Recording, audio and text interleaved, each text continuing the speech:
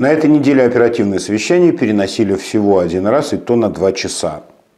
Видимо, не только нам с вами тяжело просыпаться по утрам в понедельник. Ради Фаритович тоже человек, и немножко пришлось подождать начала оперативного совещания.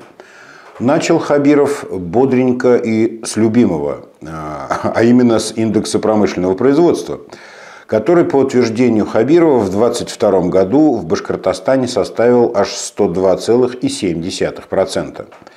Ну, напомним на минуточку, что в предыдущем 2021 году он составлял 107,9, то есть рост промышленного производства за прошлый год в Башкортостане снизился на 5,2%.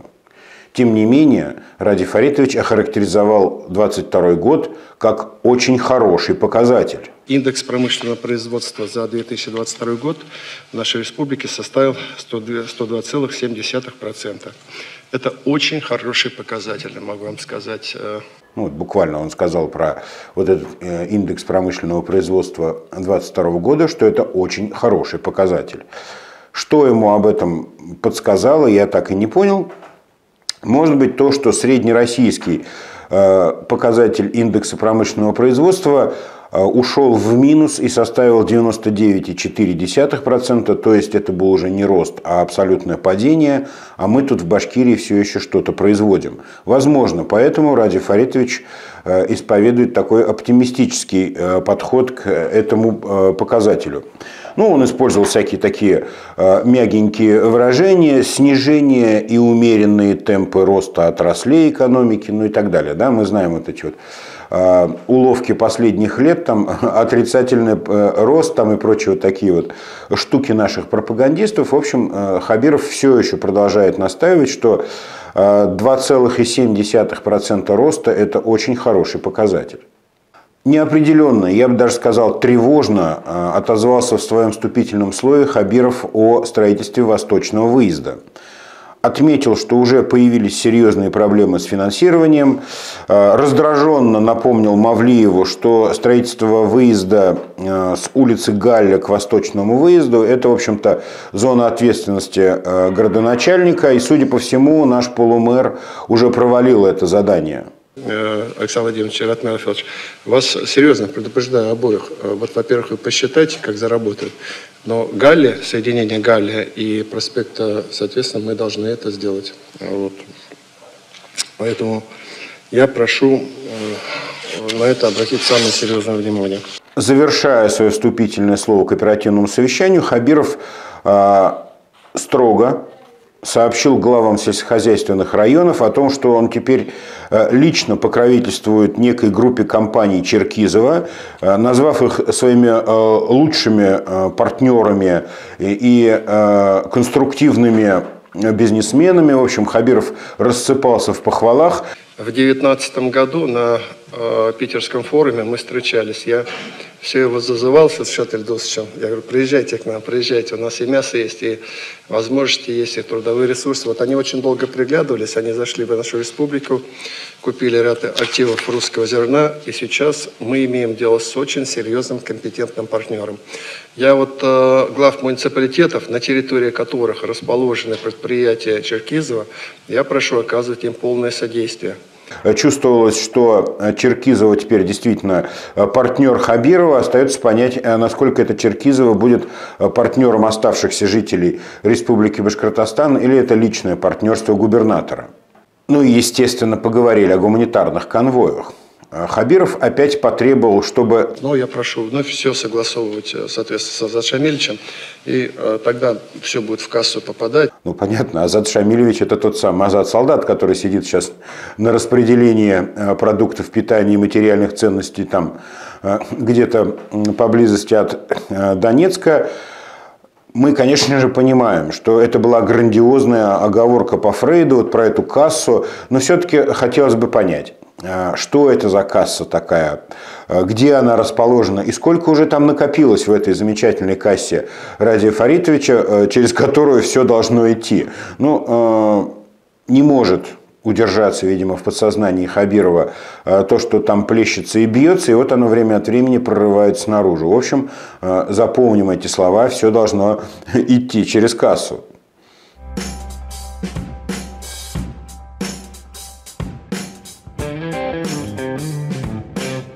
Этот раз даже Хабиров не смог придумать название для доклада про Чайковской и просто махнул рукой. Пожалуйста, Елена Анатольевна. Переходим э, к повестке. Пожалуйста, Елена Анатольевна. Список проблем, которые беспокоили население Республики Башкортостан в последнюю неделю, не блистал оригинальностью. Собственно, ничего нового. Э, Прочаковская утверждает, что проблемы ЖКХ отошли на второе место, а на первое место вернулись дороги. На третьем – благоустройство, на четвертом – медицина, которая поднялась, кстати говоря, слегка в этом рейтинге. Далее идет социальное обслуживание, общественный транспорт, образование, мобилизация, строительство и экология. Набор, как известно, привычный. По словам Прочаковской, которая э, как будто бы анализировала обращение граждан, э, граждане все еще э, как-то наивно негодуют по поводу уборки декабрьского снега. Ну, позвольте, на дворе уже февраль, а декабрьский снег все еще не убрали. Не пора ли вам успокоиться, дорогие граждане? Несмотря на то, что Мавлееву удалось убрать снег на улице Зорге и более или менее очистить его на проспекте Октября, э, на остальных улицах, междуворовых проездах и во дворах особенно, конечно, творится а адский ад. Снег уже превратился в э, стабильный лед, который, в принципе, никакой техникой не уберешь, нужно только взрывать. Э, хуже всех, по э, мнению Прочаковской, Кировский район города Уфы. Там максимальное количество жалоб. По-прежнему на первой позиции остается по жалобам жителей Кировский район – и замыкает э, Орджоникидзевский район. Елена Анатольевна, конечно, об этом никогда не расскажет, но мы-то э, получаем э, сообщения и жалобы от, от жителей и зрителей по-настоящему, а не как про Чайковское. И вот я бы хотел отметить и дополнить доклад Елены Анатольевны тем, что множатся жалобы на незаконные свалки снега, снег вывозят по берегам рек, снег вывозят там всякие укромные пустыри э, и э, пустующие площадки. Но э, мы же должны знать, если кто-то забыл, то городской снег, вот этот в перемешку с грязью, гарью пылью, это вообще-то по классификации промышленные отходы четвертого класса опасности. И просто так сваливать в кучу снег где-нибудь сбоку или на берегу реки а, законом и экологическими нормами категорически запрещается. Вот сейчас самый сезон, и мы призываем наших зрителей и подписчиков присылать нам а, фотографии и адреса этих незаконных свалок снега, а мы попытаемся проанализировать эту ситуацию. Выслушав доклад про Чайковской, Хабиров как-то вяло сообщил Мавлееву, который присутствовал в зале, о том, что сильных снегопадов пока нет и есть возможность поправиться. У вас пока как раз хороший период, обильных снегопадов пока нет. Вот есть возможность поправиться. Ну, прямо скажем, что сильных снегопадов не было с декабря месяца. Таких регулярных, длинных и обильных. А, то, что мы видим на улицах, это в основном декабрьский снег – и вот это на самом деле отличает Мавлиева от остальных мэров Уфы, которых мы можем припомнить, что он не просто его не убирает снег, он не убирает этот снег месяцами. Каким бы э, скверным мэром э, не был э, Елалов или его последователи, но таких темпов уборок снега мы не припоминаем, потому что их на самом деле не было. Мавлиев реально исповедует версию того, что убирать снег не нужно, он сам растает. Кроме всего прочего, Хабиров, видимо, не в курсе последних планов э, Ратмира Рафиловича о том, чтобы все-таки достроить снегоплавильный э, завод э, на улице Сагита Агиша. Он его обещает достроить к марту месяцу. Ну, март не март, как говорится, а в апреле запустят.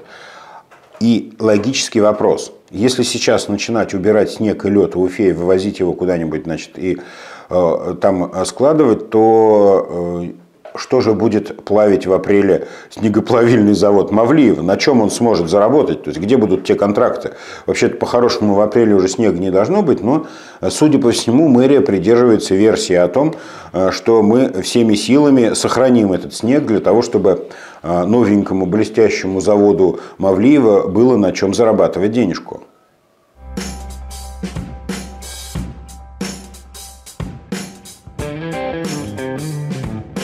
Традиционно все-таки предоставили слово э, Рахматуллину Айрату Разифовичу, министру здравоохранения, хотя, пожалуй, бы стоило ему на некоторое время исчезнуть, э, так уж много претензий к башкирской медицине, что нечего раздражать народ, но, тем не менее, Хабиров все-таки э, заслушал Рахматуллина, он дежурным образом сообщил, что количество переболевших ковидом э, в республике за э, три года приближается к цифре 350 тысяч, во что мы, конечно же, категорически не верим. 187 э, человек заразилось этой болезнью на минувшей неделе, один из них, к сожалению, умер. Коэффициент распространения ковид за неделю вырос на 30%, а рост заболеваемости ковидом за месяц выросла аж на 70%. Это много, но Рахматуллин просто констатирует факт. 27 492 выезда скорой помощи, по словам министра здравоохранения, случились на минувшей неделе, и 94% э, карет скорой помощи доезжают до своих пациентов за 20 минут. Доля вызовов, обслуженных с 20-минутным доездом, э, составила 94,1%. Ну, как хотите, так к этому относитесь. Господин Рахматуллин продолжает настаивать, что 55 э, тысяч свободных мест для э, записи к врачу есть у нас каждую неделю, и все вы врете про то, что к врачу записаться нельзя. Но это вкратце позиция Министерства здравоохранения. А в дополнительном докладе господин Рахматуллин рассказывал о, о том, как он впереди планеты всей по строительству ФАПов, что он перевыполнил уже задание федерального центра, что э, фельдшерские акушерские пункты в Башкортостане процветают и множатся ежедневно. Э, Правда, проскочило несколько цифр, вот, которыми любит засыпать сознание э, дорогого Радия Фаритовича э, Рахматуллин. В этих цифрах проскочили некие э, несоответствия. И, например, то, что только 30% фельдшерских акушерских пунктов ну, имеют право или имеют возможность выписывать э, листы нетрудоспособности, говорит о том, что либо там действительно совсем нет э, ни врачей, ни фельдшеров, либо там нет э, оборудования, либо средств связи для того, чтобы зарегистрировать листок нетрудоспособности в общей базе. В 755 ФАПах реализована возможность оформления листков нетрудоспособности и назначения лекарственных препаратов – даже Хабиров уловил вот это противоречие, как мало у нас до конца оборудованных ФАПов. Э, Рахматуллин нехотя признал то, что э, ну, примерно треть этих ФАПов вообще э, не, не имеют ни врачей, ни фельдшеров, и там некому работать, и туда какие-то по совместительству кто-то на несколько часов в неделю приезжает.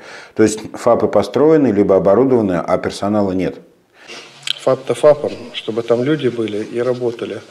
Вот эту вот историю, я так, если правильно понял, пока чуть меньше половины э, ФАПов в состоянии фельдшера в ФАПах закрывать листки трудоспособности, так? На вот сегодняшний вас... день э, где-то 130 ФАПов, Ради Фарич, не имеют постоянного основного сотрудника это или совместители, или передвижный комплекс.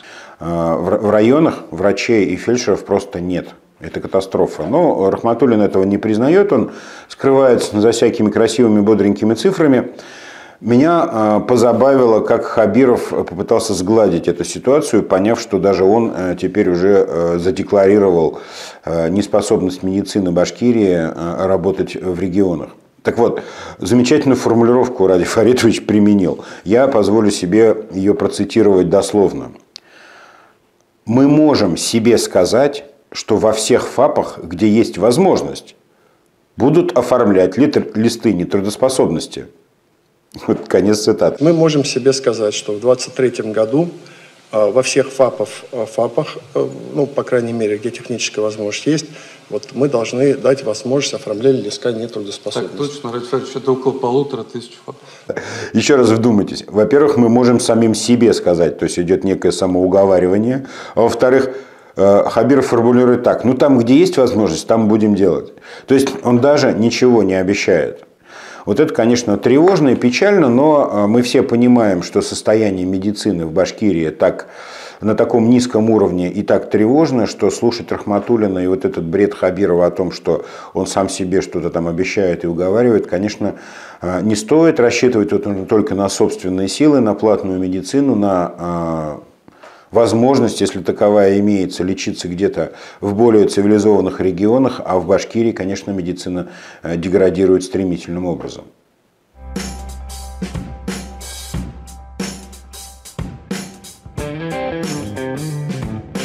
В этот раз Хабиров, э, как и Назаров в прошлый раз, решил придерживаться классической схемы оперативного совещания и далее заслушали триединый доклад о ситуации в ЖКХ на дорогах и ЧС.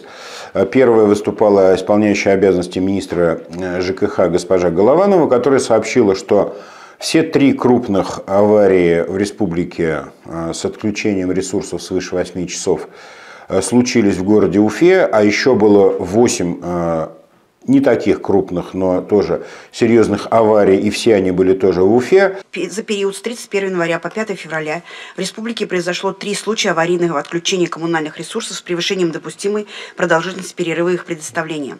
Все три случая произошли на территории города Уфы. 31 января в Советском районе для устранения технологического повреждения на подающем трубопроводе была приостановлена подача горячего водоснабжения пяти многоквартирных домов с охватом 1670 потребителей. Продолжительность отключения составила 11 половиной часов. 2 февраля в Орджоникидзевском районе в связи с повреждением водопроводной сети произошло аварийное отключение холодного и горячего водоснабжения. Под отключением оказалось 13 многоквартирных домов. Продолжительность составила 8 часов. 3 февраля в Кировском районе для устранения повреждений на водопроводной сети была приостановлена подача холодного водоснабжения в 7 многоквартирных домах. Продолжительность 10,5 часов. Также в Уфе зафиксировано 8 отключений ресурсов, где устранение аварии завершено в пределах нормы времени. Под отключением оказались 28 домов с охватом более 7 тысяч потребителей. Безусловно, минувшая неделя отметилась э, колоссальными проблемами жителей э, столицы республики с ресурсами ЖКХ. Я не припоминаю, и вы, наверное, тоже не припоминаете, чтобы с такой частотой и с такой э, географией охвата города э, происходили отключения, аварии, разрывы э, то э, теплотрасс, то водопроводов, то отключение горячей воды, электричества и прочих ресурсов. То есть этого мы не припоминаем, чтобы вот так катастрофично это выглядело. Причем выглядит это как-то обыденно, что это не просто вот бах и взорвалась труба, там что-то там лопнуло и все кинулись заделывать. А выглядит это так. А, здесь взорвалось, ну, поехали ремонтировать. Ага, сегодня здесь, завтра там. То есть это превращается в рутину. И это еще раз подчеркивает э, ужасное состояние инфраструктуры, э, на которое давным-давно никто не обращал внимания, всерьез не вкладывались ни деньги, ни ресурсы в это все, и вот мы теперь пожинаем плоды этой разрухи. Следующим докладчиком был э, министр э, транспорта и э, дорожного строительства, который нам ничего не рассказывает о дорожном строительстве. Господин Клебанов ну, сухо зачитал справочку ГИБДД. На минувшей неделе у нас случилось 51 ДТП, 69 человек пострадало, трое погибли. Статистика за текущий год а, очень неплохая у Клебанова. Минус 33 ДТП, минус 87 пострадавших и минус 11 погибших. Вот по погибшим статистика января-февраля 2023 а, года очень а, обнадеживающая. Минус 30 процентов от прошлого года. Это очень неплохо. Будем надеяться, что господину Клебанову удастся удержать эту статистику, хотя бы потому, что э, жалко погибающих людей на дорогах, хотя, конечно, я не понимаю, э, почему бы э, таковому случиться, потому что всерьез ничего не меняется, а то, что есть какие-то перепады статистики и случайности, это, как говорится, дело житейское. Если на дорогах сейчас царит некое затишье, то вот э, в области э, чрезвычайных ситуаций у господина Гумерова, конечно, все плохо. 96 пожаров за неделю и 6 погибших за неделю. Цифра большая для этого показателя. С начала года в пожарах в Башкирии сгорело 45 человек насмерть. Вдвое больше, чем погибло в ДТП. Э, это действительно аномалия, э, люди горят, судя по всему, есть проблемы с отоплением и прочими вещами. Э, то есть это всегда прямое следствие, когда начинаются проблемы с отоплением, люди начинают использовать всякие кустарные и нестандартные способы обогрева и, как итог, пожары и гибель. Вдвое больше погибших в пожарах, чем в ДТП. В прошедшей неделе произошло 96 техногенных пожаров, при которых спасены 26 человек. К сожалению, еще шестерых спасти не удалось. Гумеров, между тем, э, совершенно безмятежно продолжает утверждать, что главной панацеей от всех бед в области чрезвычайных ситуаций являются пожарные извещатели, э, которые э, уже сотнями тысяч он закупает и размещают в домах в Республике Башкортостан. Я не спорю, что э, действительно пожарный извещатель, наверное, когда-нибудь и в какой-то ситуации может э, помочь там, известить, разбудить людей в задымленном помещении и предотвратить гибель. Но считать, что это единственная панацея и все ресурсы бросать на то, чтобы вот этими пожарными извещателями облепить все избушки во всех дальних регионах э, республики, конечно, было бы наивно. Кроме всего прочего, чрезвычайная настойчивость господина Гумерова лично в деле э, приобретения и распространения этих извещателей, конечно, слегка настораживает на общем э, фоне коррумпированности чиновников в России, в Башкирии в частности.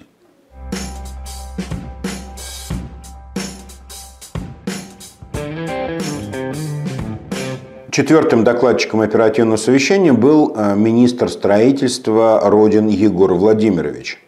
Ну, собственно, он исполняющий обязанности все еще, потому что э, его э, предшественник, господин Кучербаев, все еще находится под судом, и судьба его совершенно неизвестна. А Егор Владимирович у нас хронически исполняющий обязанности. Но это не помешало ему уже попасть, как говорится, в жернова истории и обстоятельств. В минувший август Хабиров грозился уволить Родина э, с его должности, если он не достроит школу в Старом Сибае. Школу в Старом Сибае не достроили, но тем не менее Родин все еще сидит на своем кресле. Но с прошлого августа, довольно долго и давно, Егора Владимировича на оперативных совещаниях не было, отсиживался и затихарился. И вот теперь э, Егор Владимирович э, на арене цирка и зачитывает нам доклад об итогах работы строительного комплекса Республики Башкортостан в 2022 году и планах перспективах на 2023 год.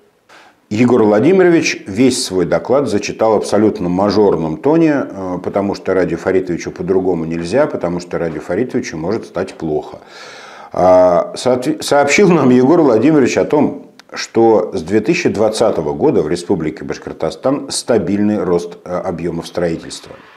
А 2022 год был лучшим в истории Республики Башкортостан. И было введено более 3 миллионов квадратных метров жилья. Ну, собственно, мы это уже все 10 раз слышали. По мнению Егора Родина, 110 тысяч семей улучшили жилищные условия – при этом, внимание, было введено 40 тысяч квартир. Уважаемый Ради Фаридович, уважаемые участники совещания. Начиная с 2020 года строительная отрасль республики показывает стабильный рост. По темпам жилищного строительства 2022 год стал лучшим в истории республики. Была преодолена планка в 3 миллиона квадратных метров введенного жилья.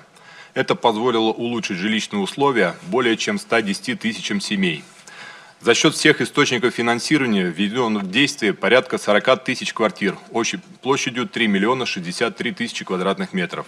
Это на 5,4% выше показателя 2021 года. Ну, как-то странно это все не бьется. Квартир примерно в три раза меньше, чем счастливых семей, которые улучшили свои жилищные условия. Ну, возможно, люди там что-то на что-то поменяли, но э, циферки, конечно, не бились. Тем не менее, Родин утверждает, что Республика Башкортостан занимает второе место в ПФО по строительству и седьмое место по Российской Федерации по вводу жилья. А впереди всех в Башкортостане Бирской Туймазы, где ввод жилья вырос аж в два раза. Стерлитамак и Салават, рост жилья в 1,7 раза. В общем, все прекрасно. Остановился Егор Родин и на проблеме э, обманутых дольщиков. Он при, привел нам любопытную статистику, что в 2019 году была решена проблема 14 объектов – в 2020 году 8 объектов, в 2021 году 16 объектов, в 2022 17 объектов. А, и всего за перечисленные 4 года 55 а, объектов долевого строительства, где были проблемы, а, были решены. А вот осталось, внимание, 39. То есть за 4 года 55, а остались 39. И что-то мне подсказывает, что эти 39 наиболее проблемные – Далее завершить мероприятие по восстановлению прав граждан участников долевого строительства, то есть окончательно закрыть вопрос обманутых дольщиков, восстановив при этом э, права более 2600 э, граждан, решив вопрос по 39 проблемным объектам. До окончания процесса решения проблемы обманутых дольщиков остается 10 месяцев. То есть за 10 месяцев Родин и Хабиров должны решить проблемы 39 а, объектов а, долевого строительства, при том, что за минувшие 4 года они кое-как осилили 55. Согласитесь, счет не в их пользу. Путин отвел срок до конца 2023 года, и тут вам никак с ДТП. Тут все будет значительно а, строже и дотошнее. И вообще, почему-то Родин отчитывался вовсе не за 22 год, как было анонсировано, а за 4 года. Потому что, видимо, цифры 22 года, э, несмотря на рекорд объемов строительства, не были столь убедительны и помпезны, чтобы вернуть расположение дорогого Радия Фаритовича. Э, планы Родина на 23 год, э, Родина и Родины не менее помпезные. Он планирует ввести еще 3 миллиона квадратных метров жилья, завершить программу расселения ветхого жилья, полностью решить проблему обманутых дольщиков. А это Родин пообещал нам еще раз. А, ну и, собственно, важно понимать, что а, все вот эти бравурные цифры и доклады, которые были а, приведены по части объемов ввода жилья, зиждется на том, что 60% вот этих вот квадратных метров из трех миллионов граждане построили сами, своими руками, без э, усилий и э, без всевозможной помощи и содействия господина Родина или господина Хабирова. То есть, на самом деле, 60% в этом объеме – это индивидуальное жилищное строительство. А, так что, ну, понятно, что привычка наших чиновников приписывать себе все, что угодно, все, что плохо лежит, все, что не прикручено и блестит на солнце, это все уже давно известно. Но здесь, конечно, масштабы колоссальные. То есть 60% жилья – это жилье ИЖС. А, так что, ну, на самом деле, как говорится, делим пополам. А, Хабиров, выслушав Родина, остался доволен. Буквально и дословно он сказал так, проблем нет, есть 5-6 проблемных объектов. Вот буквально так Хабиров охарактеризовал нашу строительную отрасль. Я говорю, вот если бы еще не было вот проблемы там 5-6 объектов, которые мы затянули, вот та же Енорсовская школа, сколько я там ругался, та же там перенос Баймакской поликлиники и так далее. Вот 5-6 объектов, если бы еще смогли э, ну, дорешать, было бы хорошо.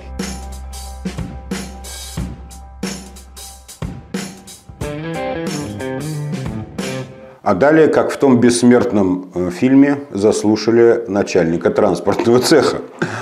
А именно, э, Хабиров вызвал опять на сцену господина Колебанова и попросил его э, порадовать докладом о снижении смертности в ДТП по итогам 2022 года. Он называется «Снижение уровня смертности населения Республики Башкортостан в результате дорожно-транспортных происшествий по итогам 2022 года. Это так назывался доклад. Обращаю внимание на формулировку о снижении, а не э, и не уровня, э, и не об уровне, а вот о снижении. Хабиров инстинктивно повсюду отыскивает себе достижения, при том, что э, именно вот в этом вопросе его собственное поручение не допустить смертности свыше 400 человек – было не выполнено в прошлом году. Но, тем не менее, даже вот это фиаско Хабиров решит превратить в некий успех, в некое достижение. Клебанов отчитался о том, что в 2022 году произошло 3441 ДТП, в которых пострадало 4221 человек и погибло, внимание, 409 человек. Напомню, Хабиров строго и категорически а, поручил своим подчиненным не допустить перейти планку в 400, но она была перейдена. Статистически по отношению к 2021 году, в 2022 году а, было снижение по всем показателям. 424 ДТП минус, 525 пострадавших минус и 74 погибших минус. Действительно, в 2021 году погибших было 400, 483 человека. Ну, то есть э, минус 74. Существенное снижение тут, как говорится, есть. На федеральных дорогах люди практически перестали гибнуть у нас в прошлом году. Погибших был 61 человек, и это снижение на 48%. А вот региональные и местные дороги похвастаться подобным результатом не могут. Именно там погибла основная часть погибших, и снижение, например, на местных дорогах составляет всего лишь статистические полтора процента. Э, Клебанов видит решением проблемы исключительно покупку и установку комплексов фото-видеофиксации. В 2023 году для ликвидации ДТП запланированы следующие мероприятия. Приобретение 43 передвижных комплексов автоматической фото-видеофиксации, ввод в эксплуатацию комплексов на 41 перекрестке города Уфа, передислокация имеющихся стационарных комплексов автоматической фото-видеофиксации на вновь образующиеся места концентрации ДТП, установка 30 муляжей камер фото-видеофиксации. А, ни о чем другом они на самом деле думать не могут. Всего по республике Башкортостан а, установлено 1764 комплекса фото-видеофиксации нарушений правил дорожного движения, которые которые в круглосуточном режиме пополняют казну и карманы концессионеров. Почему я говорю о том, что э, зарабатывает на этом не только государство, а потому что сам Клебанов нам об этом сообщил. А вот послушайте интересные цифры. А, господин Клебанов заявляет, что за 2022 год при помощи комплексов фото-видеофиксации было выписано 5 миллионов 100 тысяч штрафов на общую сумму 2 миллиарда рублей. При этом 200 миллионов рублей до казны не дошли и осели в каких-то карманах. Потому что, э, как утверждает тот же самый господин Клебанов, до дорожного фонда, куда поступают штрафы от, от ПДД, до дорожного фонда э, дошел лишь миллиард восемьсот миллионов. То есть по дороге 200 миллионов где-то упало. А, ну, то, что вот эти э, комплексы фото-видеофиксации являются источниками дохода не только для казны, мы давно слышали, но э, теперь господин Клебанов рассказал нам и, как говорится, всю арифметику этого процесса. Чувствовалось, что господин Клебанов явно отрабатывает номер. Ну, невнятная речь, потеря падежей, э, поверхностность содержания доклада говорила, в общем-то, о том, что вовсе не о безопасности людей э, пекутся э, эти товарищи, а о все той же самой э, пресловутой кассе. Особенно примечательно было, что Хабиров подытожил доклад Клебанова вполне себе компрометирующим заявлением о том, что считает теперь полковника Севастьянова, который тоже присутствовал в зале, своим надежным партнером. Но я вот еще сегодня что хотел сказать, вот, э, Владимир Александрович, вот я откровенно скажу, я как-то всегда прямо, честно говоря, выражаюсь, вот, может, иногда и зря, но я правда вижу вас, и вот наша команда, вас мы видим вот сейчас уже с опытом работы, поработали, как вы начали, стали начальником управления ГИБД, видим очень надежного партнера. Очевидно, что при прочих равных э, полковник Севастьянов э, оказался более удобным, чем полковник Гельмудинов.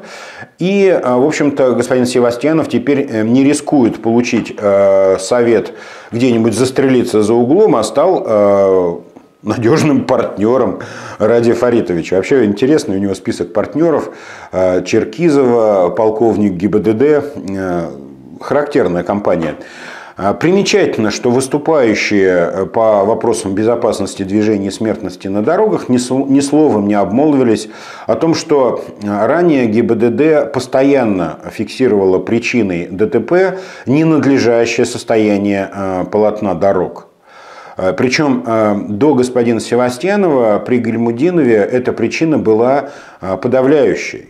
То есть колейность, выбоины, разрушенность э, дорожного полотна э, действительно часто и в массе своей являются причиной а, аварии. Машину выбрасывает на встречку, машина едет по нечищенной дороге и так далее, и так далее, случаются ДТП. Сейчас крайне редко эта причина указывается, и, видимо, тем самым господин Севастьянов снискал себе э, титул партнера Радия Хабирова.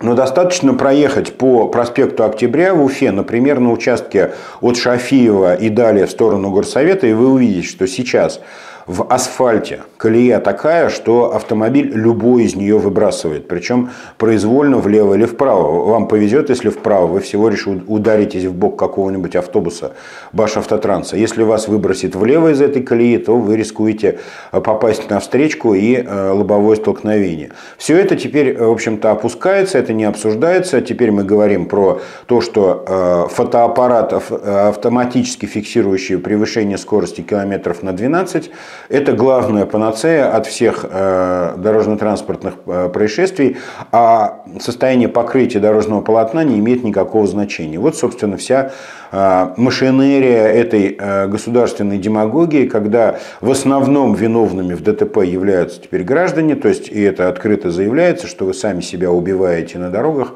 а мы здесь ни при чем, и, пожалуйста, не спрашивайте нас, куда делись эти бесчисленные миллиарды, которые тратятся на ремонт дорог.